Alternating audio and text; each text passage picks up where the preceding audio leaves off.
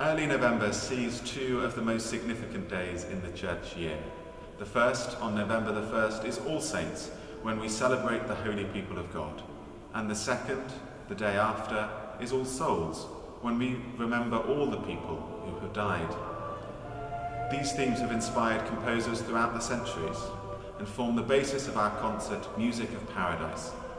In the first half, we'll perform Victoria's Requiem, a truly beautiful piece of music from the early 17th century that explores the themes of life and death.